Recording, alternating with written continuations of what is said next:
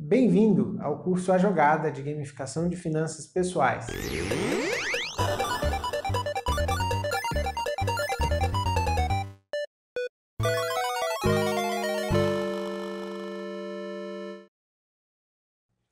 Você já imaginou a vida como um jogo em que você tem metas a alcançar, objetivos, tarefas e desafios a superar?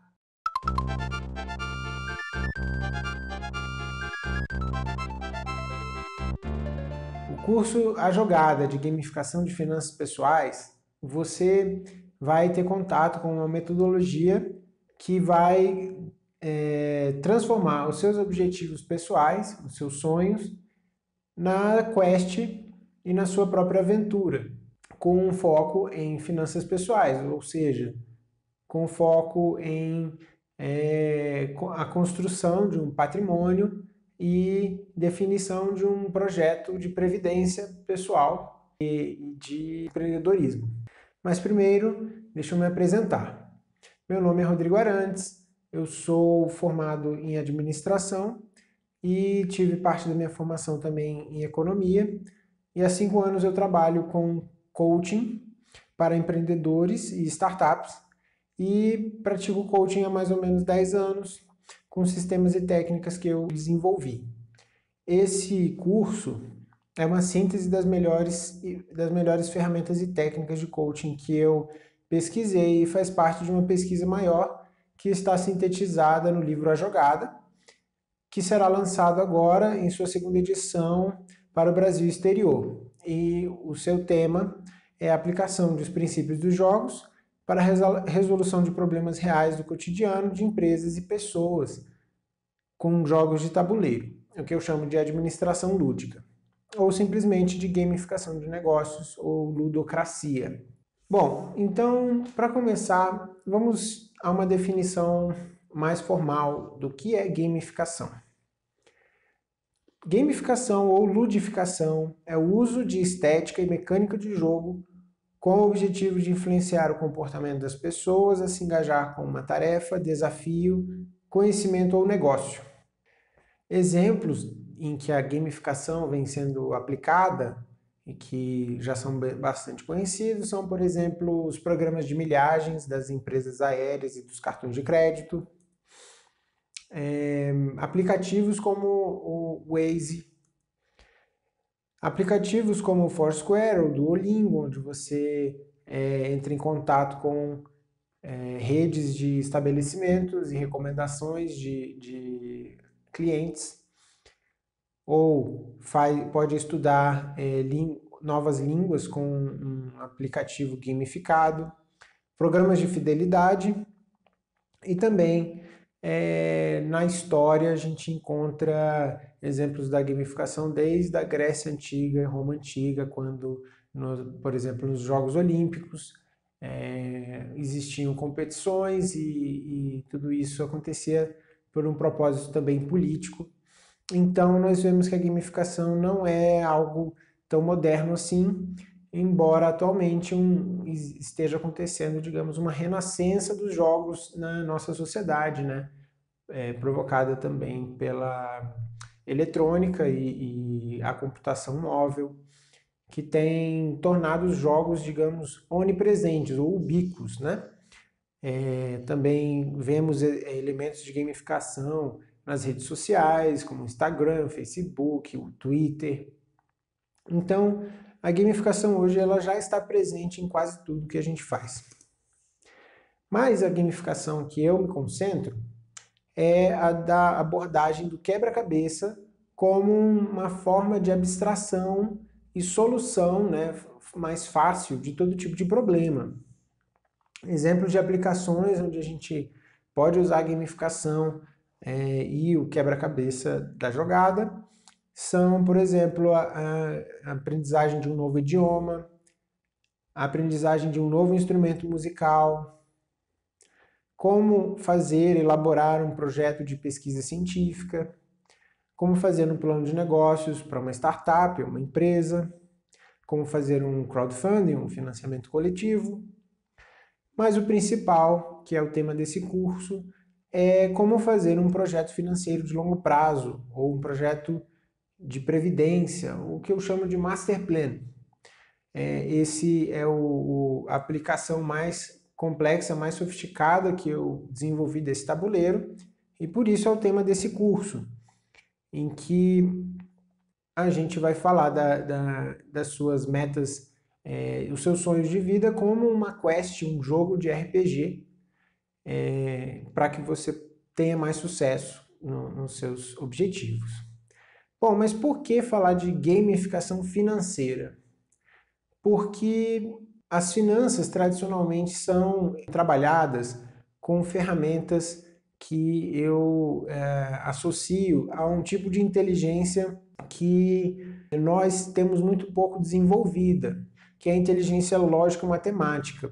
Comparado com a inteligência espacial, que, que é a inteligência que a gente usa nos quebra-cabeças, é, a gente vê que a inteligência lógico-matemática ela só é, é, aplicada, só é desenvolvida um pouco a partir dos, dos 12, 14 anos, quando o estudante, o jovem, entra em contato com isso na, na escola e, na, no caso das finanças em si, normalmente isso é estudado a partir da formação superior.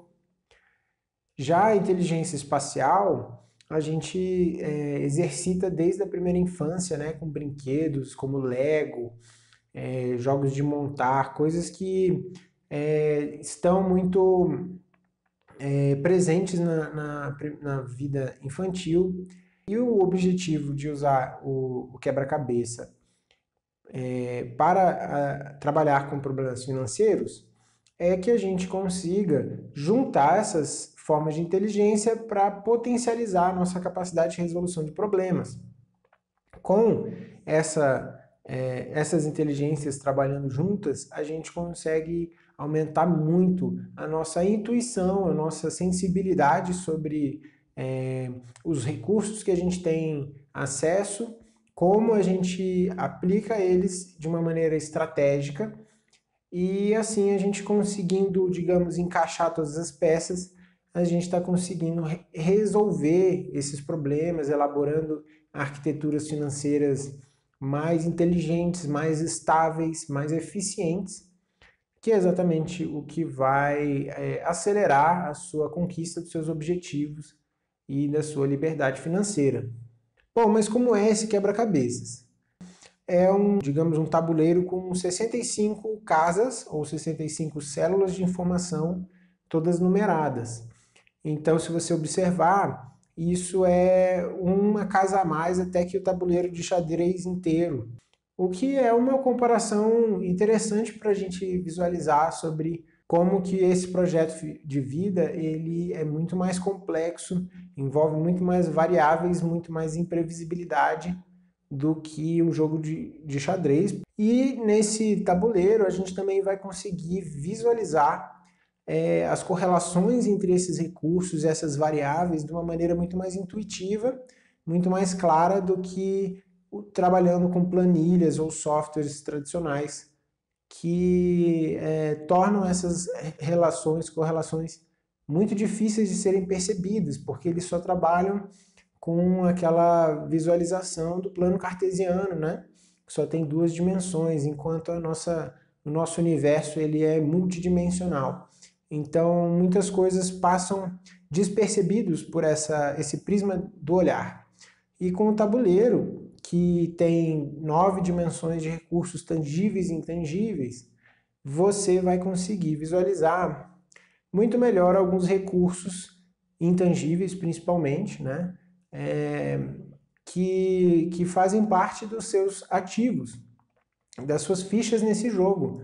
Coisas como, por exemplo, os seus talentos, os conhecimentos que você tem, as línguas que você fala, são variáveis que é, quase sempre são desprezadas no sistema financeiro tradicional e que são justamente o ponto forte, o ponto principal é, dessa metodologia que visa tentar aproveitar da melhor forma é, cada uma dessas dimensões. Então, só para enumerar essas dimensões, eu estou falando da camada zero, o coração, da camada 1, um, a mente, camada 2, o corpo, a camada 3, que é o seu círculo social e familiar, a camada 4, que é a sua obra é autoral, seja ela científica ou artística, camada 5, que é a camada profissional de, de emprego ou empresa e negócios, a camada 6, que é o seu, a sua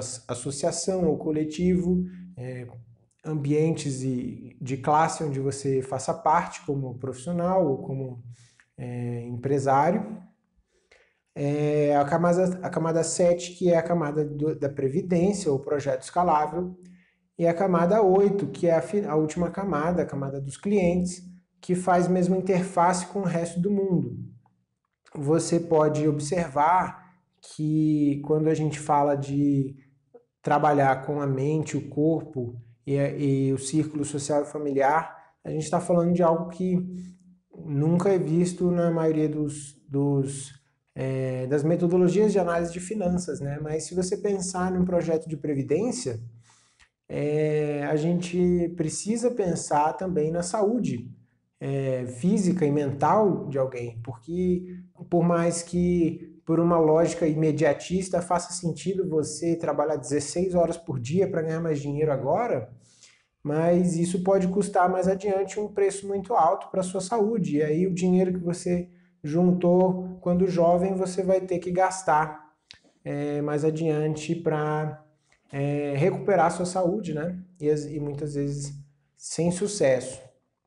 Então, isso é um exemplo de uma falha enorme que a maioria dos, é, das metodologias de finanças permite por causa desse olhar cartesiano antigo que elas mantêm e que é justamente o diferencial do sistema jogado e que nas próximas aulas você vai entender melhor. Acompanha essa ferramenta da Mandala também, uma planilha de análise desenvolvida exclusivamente pela Tarsila Landim, do portal Tudo com Excel, que é minha parceira e sócia. E é, com este kit do investidor, você vai com certeza elevar muito as suas capacidades de percepção das suas potencialidades e também de posicionamento estratégico dos seus ativos e do seu currículo pessoal com essas ferramentas exclusivas do Instituto A Jogada.